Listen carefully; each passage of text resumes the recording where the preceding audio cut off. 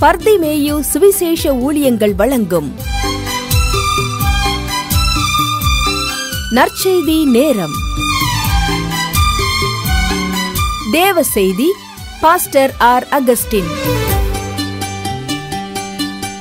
இந்த நாளில் உங்களோடு எகிப்தின் ஆவி என்ற தலைப்பில் உங்களோடு பேசி வருகிறேன். முதலாவது சொன்னேன் எகிப்தின் ஆவி என்பது ஐயா சகோதரனுக்கு சகோதரன் சிநேகிதனுக்கு சிநேகிதன் தேசத்துக்கு தேசம் இப்படி ஐயா எதிர்த்து நிற்கிற ஆவி. பயத்தின் ஆவி அன்றைக்கும் மோசைக்குள் தான் முதல் ஓடியாந்தது அப்படின்னு சொல்லலாம். அதே போல இந்த எகிப்தின் ஆவி எகிப்துக்கு எப்படி இந்த எகிப்தின் ஆவி இஸ்ரவேலருக்குள் வந்தது என்பதற்கு பல காரணங்களை சொன்னேன். ஒன்று ஆபிரகாம் எகிப்துக்கு போனான். அதே போல யோசேப்பு கொண்டு போகப்பட்டான்.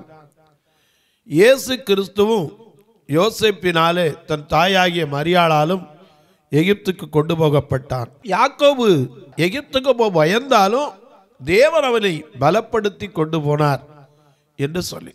இப்படித்தான் எகிப்தின் ஆவி ஐயா ஆரம்பத்தில் மக்களுக்குள்ள இருந்தது. அந்த எகிப்தின் ஆவி என்பது என்ன? இப்போ ஒரு காரியத்தை சொல்ல போறேன்.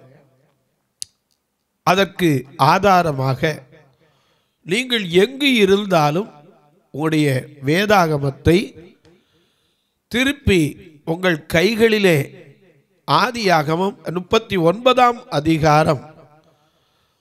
திருப்பி கைகளில் வைத்து கொள்ளுங்க. இந்த எகிப்துக்கு கொண்டு போகப்பட்ட யோசிப்புக்கு அந்த எகிப்தின் ஆவி எப்படி வேலை செய்தது என்பதை குறித்து உங்களோடு நான் பேச போகிறேன். அதற்கு முன்னாடி நீங்களும் இப்போ என்னோடு சேர்ந்து பாடுவீங்களா? அல்லல்லுயா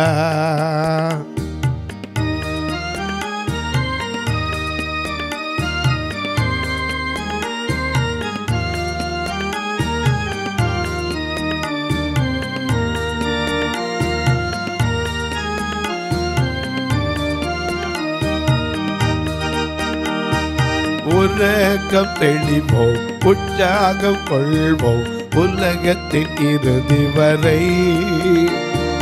கல்வாரி தொழிதான் மழை மாறி பொழியும் தாழ்வதை முளைத்திடுவோம்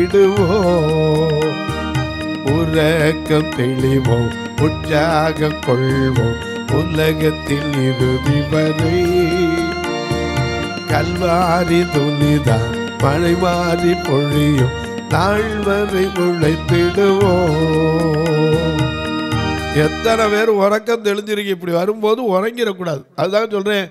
உறக்கம் தெளிவோம் உற்சாகம் கொள்வோம் உலகத்தின் இறுதி வரை. தயவு செய்து உங்களுடைய வேதாமத்தை கையில் எடுத்திருப்பீங்க.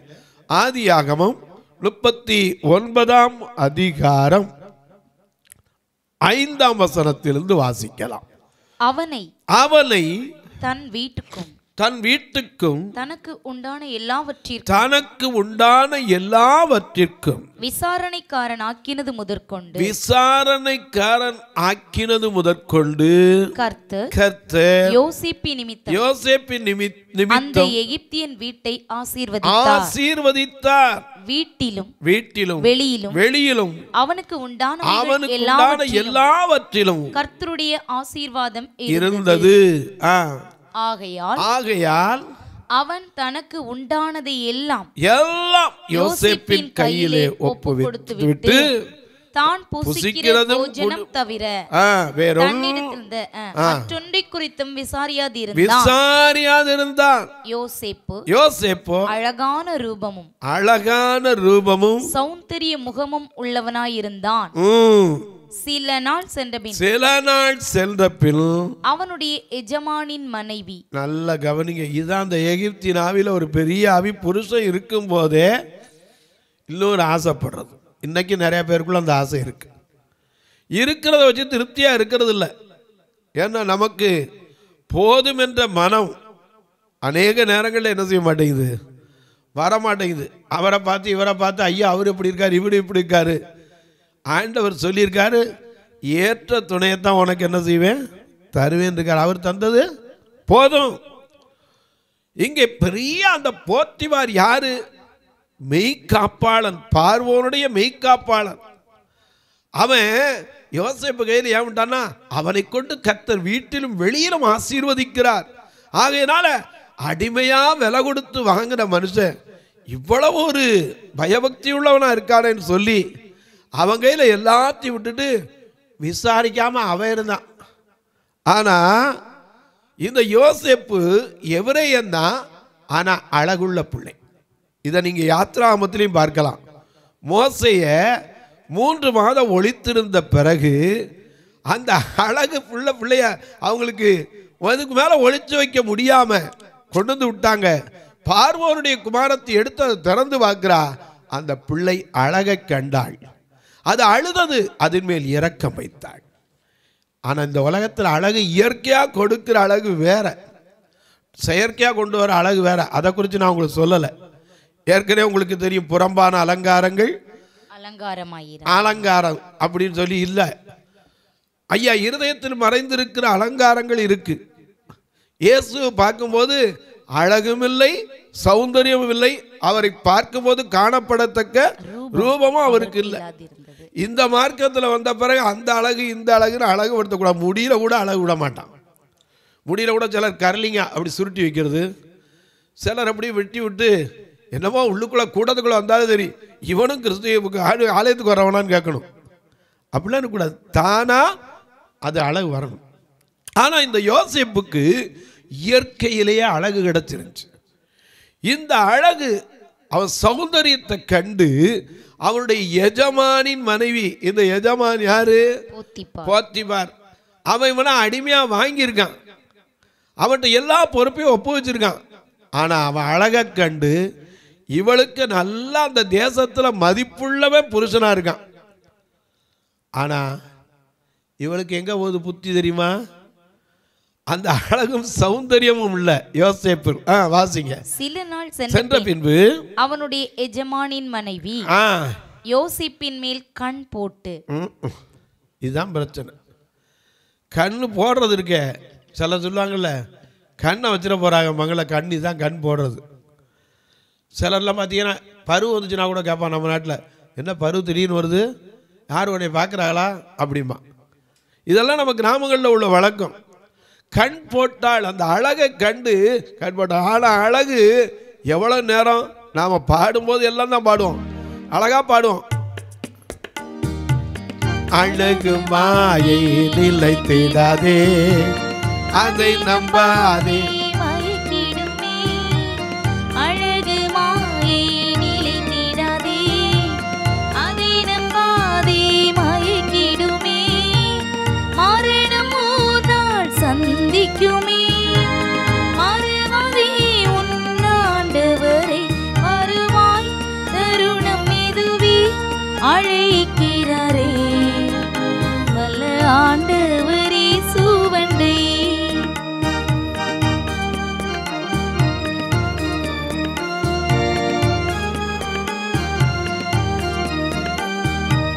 வாழ்நாளெல்லாம் மேல் நாளா வருத்தத்தோடு கழிப்பதுயே வாழ்நாளெல்லாம்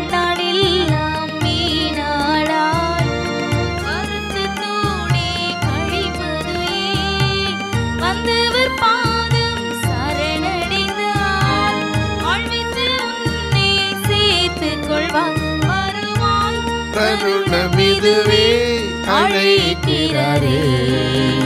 வல்ல ஆண்டவரே சுவண்டை அழகு அற்று போகும். அந்த அழகு கொஞ்ச நாள் கழிச்சுச்சுன்னா கழுத கூட க நல்ல சொன்னால் வயசில் அழகாத்தான் இருக்கும். எனக்கு கண்பானவர்களே இந்த அழகை பார்த்தா சௌந்தரியத்தை பார்த்தா ஆனால் தனக்கு இருக்கிற புருஷன் எவ்வளோ பதவியில் இருக்கான் எவ்வளவு மதிப்பில் இருக்கான் பார்க்கல. இன்னைக்கு அப்படி தான் நம்ம நாட்டை சொல்கிறான் காதலுக்கு கண்ணு இல்லை காது இல்லை எதுவும் இல்லைங்கிறான். நேற்று ஒரு அம்மா ஃபோன் பண்ணி சொல்கிறாங்க பிரதர் நான் ஆரம்பத்தில் ஆண்டவருக்குள்ளே இருந்தேன் பிரதர் சரிம்மா கல்யாணம் பண்ணுனேன்.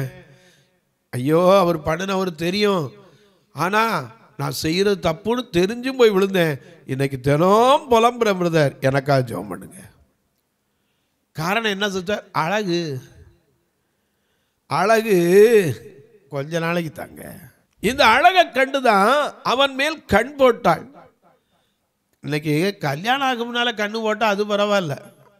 கல்யாணம் ஆன பிறகு கண்ணு போட்டு என்ன செய்யறது? இன்னைக்கு எத்தனையோ பேர் இப்படி தான் புருஷங்காரன் தான் குடும்பத்துக்காக போகணும்னு சொல்லி எங்கேயோ போய் சம்பாதிச்சுக்கிட்டு வாங்க கஷ்டப்பட்டு இங்கே தன் இஷ்டப்படி செலவழிச்சுக்கிட்டு தன் இஷ்டப்படி வாழ்கிற மக்கள் உண்டு. ஒரு நாள் அப்படி இருக்கக்கூடாது. தேவன் கொடுத்துருக்கிறது போதுங்க எதுவாக இருந்தாலும் சரி. உலகத்தில் வாழ்கிற வரைக்கும் ஒரு துணை வேணும். அந்த துணையை தேவன் கொடுத்துருந்தா அதில் திருப்தியாக வாழணும். ஆணாக இருக்கட்டும் பெண்ணாக இருக்கட்டும்.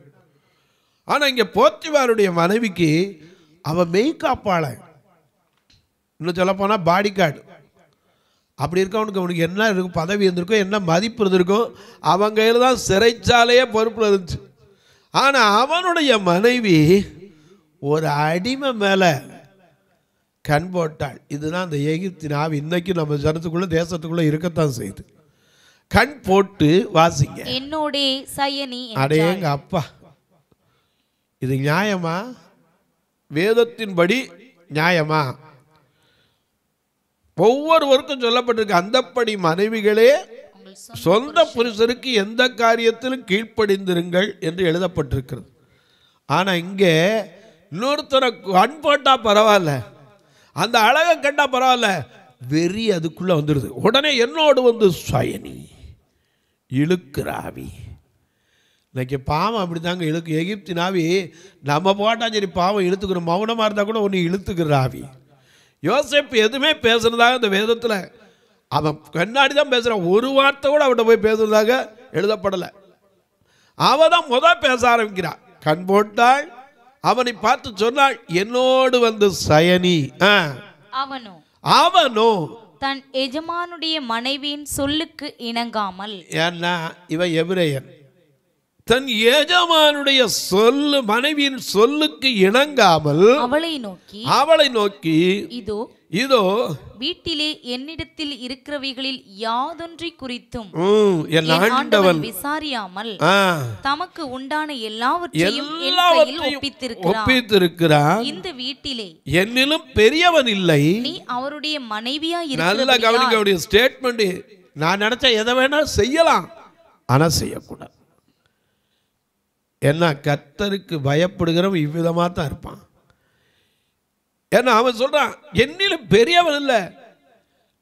ஆனா நீ நீ அவனுடைய மனைவியா இருப்பதினால் உன்னை தவிர வேறொன்றையும் எனக்கு விலக்கி வைக்கவும் இல்லை. இப்படி இருக்க இப்படி இருக்க. நான் இத்தனை பெரிய பொல்லாங்குக்கு உடன்பட்டு தேவனுக்கு விரோதமாய் பாவம் செய்வது எப்படி என்றான்? ஆனா இந்த உணர்வு தான் அங்கே எகிப்துல கிடையாது. அதுதான் பிரச்சனை. எகிப்துல தேவனுக்கு விரோதமான பாவங்கிற பயம் இல்லாம தான் புருஷன் இருக்காங்கிற பயம் இல்லாமல் தனக்கு ஒரு நல்ல வாழ்க்கை இருக்குங்கிற பயம் இல்லாமல் ஒருத்தன் அடிமையாக வந்த உடனே என் கூட வா. உடனே வந்து சயனி. இதை கொஞ்சம் யோசிச்சு பாருங்க. எவ்வளவு அருவருப்பின் ஆவி என கண்பானவர்களே பாவம் என்பது இழுக்குதுங்க.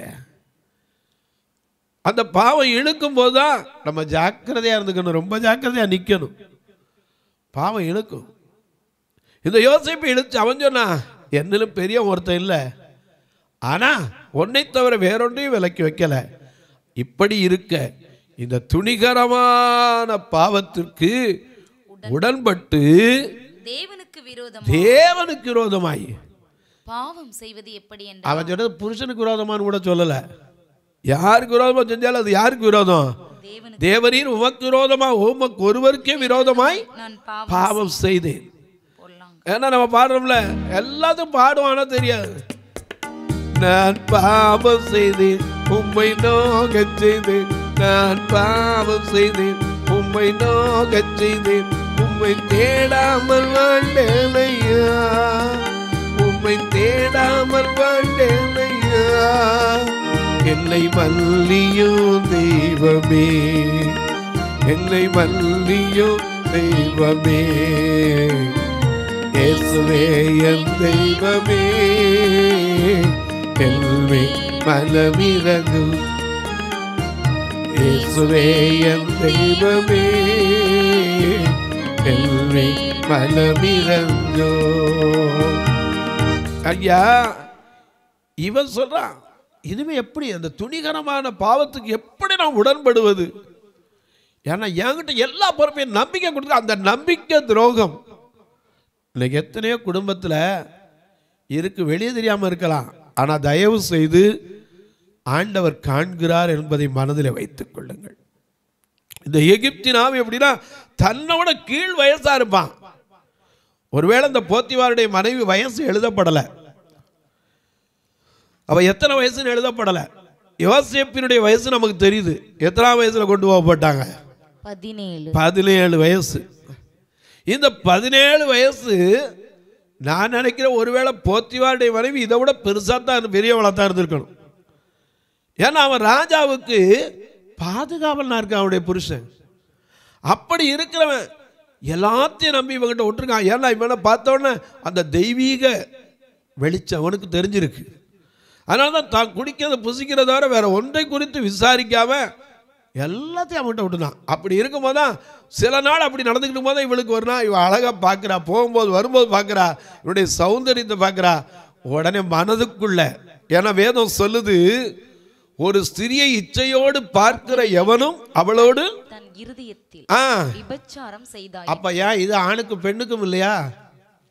ஒரு ஸ்திரீ இச்சையோடு பார்க்கிற அந்த எந்த மனுஷனோடும் அவள் இருதயத்தில் என்ன செஞ்சாச்சு நீதி ஆணுக்கு பெண்ணுக்கு எல்லாருக்கும் ஒன்றுதான வேதத்தில்? இவன் இருதயத்தில் அந்த அழகை ரசிக்கிறா. கண் போட்டு விட்டாள். உடனே கூப்பிடுறா வா வா வா வா. நாம் ரெண்டு பேரும் அனுபவிப்போம். வா.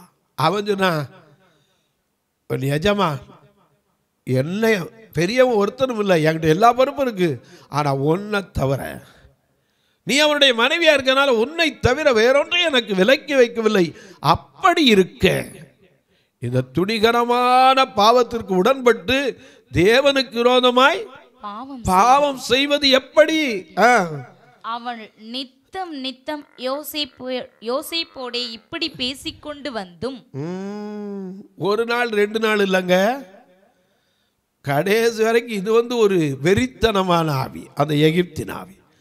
எப்படியாவது தினம் தினம் தினம் இதை பற்றியே பேசி எப்படியாவது அவன் நினைஞ்சிடணும். பாவத்தில் இழுத்துடணும் பாவத்தில் இழுத்துட்டா தான் அதான் அந்த எகிப்தின் ஆவி. யோசேப்புக்கு உடனே பயம் ஒரு பக்கம் ஐயா எப்படி அவனே இந்த பாவத்தை எப்படி செய்யறது எப்படி செய்யறது? அவ தினம் பேசுவா. ம் ஒரு நாள் இப்படி இருக்க வாசிங்க.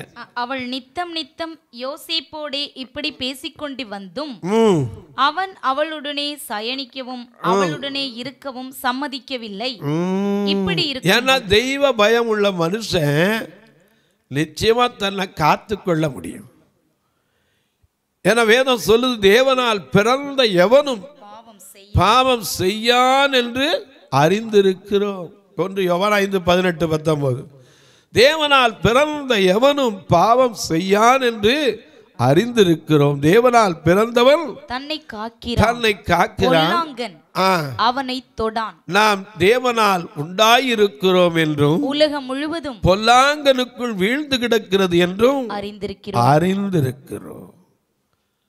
என கண்வானுடைய காத்து கொள்ள வேண்டும். ஏன்னா நம்ம காத்து கொள்ளறதுக்கு நமக்கு தெரியணும். அவ தினம் தினம் இழுத்தா. நாமளா இருந்தா என்ன இருப்போம் மாமிசம் பலவீனம் உள்ளதானப்பா? என்ன செய்யறது நம்மளும் எவ்வளோ நாள் தான் தட்டி பார்க்கறது? ஆனால் யோசேப் என்ன செய்தான்? அவள் நித்தம் நித்தம் அவனோடு இப்படி பேசிக்கொண்டிருந்தும் அவன் அவளுடனே சயனிக்கவும் அவளுடனே இருக்கவும் சம்மதிக்கவே இல்லை. கடைசியில் பார்த்தா இவன் சம்மதிக்காட்ட என்ன? சம்மதிக்க வச்சிடலாம். அடுத்த ஸ்டெப் எடுத்துட்டான்.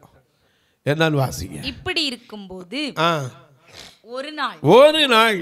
அவன் தன் வேலையை செய்கிறதற்கு வீட்டுக்குள்ள போயிருந்தான். வீட்டு மனிதரில் ஒருவரும் வீட்டில். ஒருவரும் அந்த நேரத்தில் இல்லை. அப்பொழுது அப்பொழுது அவள் அவனுடைய வஸ்திரத்தை பற்றி பிடித்து ஐயா வஸ்திரத்தை பற்றி பிடித்து சயனி என்றாள். இந்தாங்க வெறித்தனமான ஆவிங்க சாதாரண இந்த எகிப்தின் ஆவிங்கிறது இப்படிப்பட்ட ஆவி தான். வெறித்தனமான ஆவி எப்படியாவது அடைஞ்சே தீரணும். நினச்சாச்சுன்னா அவ்வளோதான் அடைஞ்சிடணும் அது அல்ல நீதி அது அல்ல தேவன் நமக்கு கொடுத்திருக்கிறது தெளிந்த புத்தியுள்ள ஆவி. தேவன் நமக்கு பயமுள்ள ஆவியை கொடாமல் பலமும் அன்பும் தெளிந்த புத்தியும். ஏன்னா இவனுக்கு தெளிந்த புத்தி. என்கிட்ட பொறுப்பாக கொடுத்துருக்கான். ஒன்றை மட்டும்தானே விலைக்கு வச்சுருக்கான். இப்படி இருக்க நான் எப்படி பாவம் செய்கிறது பாவத்தை விட்டு விலகி ஓடும். நாம் அந்த காலத்தில் பாடுவோம். அழகா பாடுவோம். உக பாவத்தினை வீட்டோடாயோ உள்ளமே இயேசு அன்பை நாடாயோ உக பாவத்தினை வீட்டோடாயோ. மா கிருபையாக ஏக நண்பாக மா கிருபையாக ஏக நண்பாக மாதனும் கேளாய் உக பாபத்தினை வீட்டோடாயோ. என்ன லந்து காலத்தில் பாடுவோம். ஐயோ என் மனமே வையக வனமே அழியா உலகில் அன்புற்று அரிதினமே யூதர்கள் வைய வேதனை செய்ய உன்பாவம் செய்ததவர் உளன் ஐய இல்லையா? நாற்பது நாளாய் தீர்ப்பசிகாலாய் நாதனும் பொறுத்திருந்தார் கேளாய். இதெல்லாம் பாடுபட்ட நாட்களில் லந்து காலத்தில் பாடுற பாடல்கள். நாமளும் லந்து காலத்தில் நெருங்க போகிறோம் இங்கே அவள் இழுக்கிறாள். வஸ்திரத்தை பிடிச்சு வாடா. இவன் சொன்னான் எப்படி நான் அந்த பாவத்தை செய்யறது? எப்படி நான் அந்த பாவத்தை செய்யறது? எவரையருடைய ஆவி தேவனுக்குள்ள தவறுங்கிறது தெரியும். தாம் மனசுக்கே குற்றங்கிறது தெரிஞ்ச விலகி ஓடுவான். இவன் வஸ்திரத்தை பிடித்து இழுத்து என்னோடே சயனி என்றாள். அவனோ? அவனோ? தன் வஸ்திரத்தை அவள் கையிலே விட்டு அவள் கையிலே விட்டு வெளியே வெளியே ஓடி போனான். அவன் தன் வஸ்திரத்தை அவள் கையிலே விட்டு வெளியே ஓடி போனதை அவள் கண்டபோது. அவள் கண்டபோது அவள் தன் வீட்டு மனிதரை கூப்பிட்டு பாத்தீங்களா? அடுத்த நிமிஷம் புத்தி டக்குன்னு மாறிடுச்சு. தன் வீட்டு மனிதரை எல்லாம் அங்க ஒருத்தருமே இல்லை. அவர்களை கூப்பிட்டு பாருங்கள். பாருங்கள். எபிரேய மனுஷன் நம்மிடத்தில் சரசம் அன்படிக்கு. அவனை நமக்குள் கொண்டு வந்தார். பாத்தீங்களா? இது யார் மேல குற்றம் சொல்றது? தான் மேல வச்சுக்கிட்ட குற்றத்தை அப்படியே அடுத்தவன் மேல தள்ளுறது. நான் ஏற்கனவே சொன்னேன். தான் காரியம் வெளியே தெரியக்கூடாது. தான் செஞ்சதா தெரியக்கூடாது. எல்லாரையும் கூட்டு இந்த பாருங்க. பார்த்தீங்களா இந்த அநியாயத்தை கேட்டிங்களா? என்னம்மா என்னம்மா? இந்த எவரையர் அங்கேருந்து அடிமையாக வேண்டுதார்ல ஆமாம் அவன் என்ன தவச்சு இருக்கா இந்த பாருங்க. ஆ வாசிங்க. எவரைய மனுஷன் சரசம் பண்ண வந்தான்? அவன் என்னுடைய சயனிக்கும்படிக்கு ஆ. என்னிடத்தில் வந்தான். என்னிடத்தில் வந்தான்? நான் மிகுந்த சத்தமிட்டு கூப்பிட்டேன். இது உண்மையா? உண்மையா? இல்லை அப்படியே பிளேட்டை மாத்துறது எகிப்தின் ஆவி. என்னோடு வந்தா நான் மிகுந்த சத்தமிட்டு கூப்பிட்டேன். நான் சத்தமிட்டு கூப்பிடுகிறதை அவன் கேட்டு. அந்த சத்தத்தை கேட்ட உடனே தன் வஸ்திரத்தை என்னிடத்தில் விட்டு. அவன் விட்டுட்டு போனான்னா இவன் இழுத்ததுனால விட்டானா? நாம் இந்த புஸ்தகத்தை படிக்கிறேன்னா யார் மேலே தப்பு சொல்லியிருப்போம்? இதில் விவரமாக எழுதியிருக்கு. அன்னைக்கு கேட்குறாங்க சில இதில் என்னங்க வேதாமத்தில் எழுதியிருக்கு? இவைகளெல்லாம் நமக்கு எச்சரிப்பு உண்டாக எழுதப்பட்டிருக்கிறது. மறந்துடக்கூடாது. இந்த வேதம் நமக்கு இப்படி எழுதி கொடுக்கலைன்னா நாம் எத்தனையோ தீமைகளில் விழாதபடிக்கு நமக்கு எச்சரிப்பின் வார்த்தைகளை கொடுத்திருக்கு. கவனமாக இருங்க விழுந்துடாதீங்க. என தெளிந்த புத்தியுள்ளவர்களாய் விழுங்கள் விழித்திருங்கள். ஏனெனில் உங்கள் எதிராளியாகிய பிசாசானவன் எவனை விழுங்கலாமோ என்று சிங்கம் போல வகை தேடி சுற்றி சுற்றி திரிகிறான். ஒன்று பேர் அது எட்டில் பார்க்கிறோம். ஆனால் நம்ம சிந்திக்க வேண்டியது எதை சிந்திக்கணுமா? பிலிப்பியர் நாலு எட்டில் பார்க்கிறோம். அன்புள்ளவைகள் எவைகளோ உண்மை உள்ளவைகள் எவைகளோ ஒழுக்கம் உள்ளவைகள் எவைகளோ நற்கீர்த்தி உள்ளவைகள் எவைகளோ? புண்ணியம். புகழ் எதுவோ? சிந்தித்து கொண்டிருக்கோம் ஆனால் இவன் சிந்தனை எதில் இருக்கு? எப்போ இவனை பிடிச்சி இழுப்போம்? எப்போ இவனை பிடிச்சி இழுப்போம்? இவன் வஸ்திரத்தை விட்டு ஓடின உடனே சொல்கிறாங்க இந்த பாருங்க இந்த பாருங்க இவன் இப்படி வந்திருக்கான் பாருங்க. சாட்சி. எனக்கு அன்பானவர்களே அவன் மட்டும் இல்லை வந்த உடனே புருஷன் வார வரைக்கும் அவனை குற்றம் சாட்டினாள். ஆனால் தேவன் தான் அவனுக்கு நீதி செய்தான் இன்றைக்கும் சொல்கிறேன் இந்த எகிப்தின் ஆவி நீங்கள் வெளியே சொல்ல வேண்டாம் நமக்குள் இருக்குமானால் இருக்கிற புருஷனை விட்டுட்டு பத்து அழகுகளை பார்க்கிற அந்த எண்ணம் இருக்குமானால் எப்படியாவது அடைய வேண்டும் என்ற அந்த வெறித்தன்மை இருக்குமானால் ஆண்டவரே இன்னைக்கு அந்த வெறித்தையும் அந்த ஆவி என்னை விட்டு போகணும்னு சொல்லுங்க. தொலைக்காட்சியில் பார்க்கிற என் அன்பு மக்களே இந்த நிகழ்ச்சியை நாள்தோறும் பார்க்குறீங்க கேட்குறீங்க பரவசம் அடைகிறீங்க நல்லது ஆனால் ஒரு வார்த்தை கேளுங்க. தேவனிடத்தில் கேளுங்க இந்த நிகழ்ச்சி வருவதற்கு நான் என்ன செய்ய? எங்கள் சபையில் கண்ணீர் அவங்க மறித்தா கூட சொந்தக்காரன் அடக்கத்துக்கு வர மாட்டான் வருஷத்துக்கு எப்படி ஒன்றோ ரெண்டோ மறிச்சிடுவாங்க இதுக்குன்னே எப்போ ஒரு ஃபண்டை வச்சுருப்பேன். ஒருவேளை உங்களுக்குள்ளும் இந்த ஈம காரியங்களுக்கு உதவ வேண்டும் என்று கத்தர் உங்களை ஏவினால் நீங்களும் இதற்கென்று உதவலாம். ஆனால் கட்டாயம் இல்லை. தொலைக்காட்சி நிகழ்ச்சி ஒரு நாளைக்கு நாலு ரூபாயெல்லாம் ப்ரோக்ராம் வராது. ஜெவியுங்கள் கத்தர் ஏவினால் நீங்களும் தாங்கலாம். ஐயா எத்தனையோ மராமத்து வேலைகள் பழுதுபார்க்கப்படாமல் இருக்குது இன்னும் சொல்லப்போனால் எங்கள் சபையில் ஞாயிற்றுக்கிழமை ரெண்டு பேரும் புருஷமனை கண்டுதிரியாமல் இருந்தால் அஞ்சு கிலோ அரிசியாவது கொடுக்காம அனுப்ப மாட்டேன். என்ன பண்ணுறது அஞ்சு கிலோ அரிசி? அவங்க வாரம் முழுது நிம்மதியாக சாப்பிட்றதுக்கு. ஒரு நேரம் சாப்பாடு கொடுத்தா அது தீந்து போயிடும் ஆனால் ஒரு வாரத்துக்கு அப்படி கொடுத்து அனுப்பேன். ஒரு வாரத்துக்கு மட்டும் இரநூறு கிலோ அரிசி குறையில்லாமல் கொடுப்பேன் நூறு பேருக்கு. நீங்களும் ஒருவேளை இந்த தொழில் வைத்திருப்பீர்கள் என்றால் இதற்கு உதவ ஏவப்பட்டால் ஏவலாம். கட்டாயம் அல்ல விசனமாய் அல்ல. எப்படி பிரதர் உங்களை தொடர்பு கொள்ள? இந்த ஃபோன் நம்பரை பாருங்கள் கூகுள் பே ஃபோன்பேலாம் உண்டு. அது மட்டுமல்ல ஏன்ட்ட கேட்டாலும் சொல்லுவேன் உங்கள் ஜெபக்காரி எது இருந்தாலும் எப்போ என்னிடத்தில் சொல்லலாம். இப்போ உங்களுக்காக ஜெபிக்கட்டுமா? நல்ல பிதாவே நன்றியோடு துதிக்கிறோம். எகிப்தின் ஆவியே. இந்த எகிப்தின் ஆவி எங்களுக்குள்ளே. ஐயா இருக்கிறதா? உங்களுக்குள்ள இருக்கிறதா? நமக்குள்ள இருக்கிறதா? இதை ஆராய்ந்து பார்த்து நாங்கள் இதிலிருந்து தப்பிக்கொள்ள உதவி செய்யும். இந்த ஊழியத்தை தாங்குகிற ஜெபிக்கிற கொடுக்கிற எல்லா மக்களையும் ஆசீர்வதி. இயேசுவின் நாமத்தில் ஜெபிக்கிற நல்ல பிதாவே. ஆமென். சபை ஆராதனை ஞாயிறு முதல் ஆராதனை காலை எட்டு மணி முதல் பத்து மணி வரை. இரண்டாவது ஆராதனை காலை பதினோரு மணி முதல் ஒரு மணி வரை. இடம் பர்திமேயு சுவிசேஷ ஊழியங்கள் அன்னை சத்யா நகர் இளமனூர் அஞ்சல் சக்கிமங்கலம் வழி மதுரை மாவட்டம். பின்கோட் ஆறு இரண்டு ஐந்து இரண்டு பூஜ்ஜியம் ஒன்று. சிறப்பு உபவாச கூட்டம் ஒவ்வொரு மாதமும் இரண்டாவது சனிக்கிழமை காலை பத்து மணி முதல் ஒரு மணி வரை. Nagercoil water tank road imperial திருமண மண்டபத்தில் நடைபெறுகிறது. ஒவ்வொரு மாதமும் நான்காவது சனிக்கிழமை காலை பத்து மணி முதல் ஒரு மணி வரை திருநெல்வேலி புதிய பேருந்து நிலையம் அருகிலுள்ள கிரேஸ் ஹாலில் நடைபெறுகிறது. தேவ செய்தி பாஸ்டர் ஆர் அகஸ்டின். பாடல் பர்திமேயு பாடல் குழு எங்கள் எல்லா ஆராதனைகளிலும் கலந்து கொண்டு தேவனை மகிமைப்படுத்த அன்பாய் அழைக்கிறோம். உங்கள் உதாரத்துவமான காணிக்கைகளால் இவ்வூழியத்தை தாங்க விரும்பினால் ஆர் அகஸ்டின் அக்கவுண்ட் நம்பர் ஐந்து பூஜ்ஜியம் இரண்டு ஒன்று மூன்று ஆறு நான்கு மூன்று ஒன்று IFSC code IDIB triple zero B zero double six. Indian bank BB Kulam Madurai. உங்கள் தொடர்புக்கு பாஸ்டர் ஆர் அகஸ்டின் பர்திமேயு சுவிசேஷ ஊழியங்கள் நாகமலை புதுக்கோட்டை மதுரை ஆறு இரண்டு ஐந்து பூஜ்ஜியம் ஒன்று ஒன்பது. தொலைபேசி எண்கள் ஒன்பது எட்டு நான்கு இரண்டு ஒன்று எட்டு ஒன்று ஒன்பது ஒன்று ஏழு மற்றும் ஒன்பது நான்கு நான்கு இரண்டு ஐந்து ஐந்து ஒன்பது ஏழு ஏழு இரண்டு. கர்த்தர் தாமே உங்களை ஆசீர்வதிப்பாராக.